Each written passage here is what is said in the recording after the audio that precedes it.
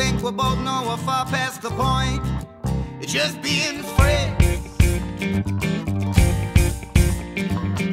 Be a crying shame if that's how it ends.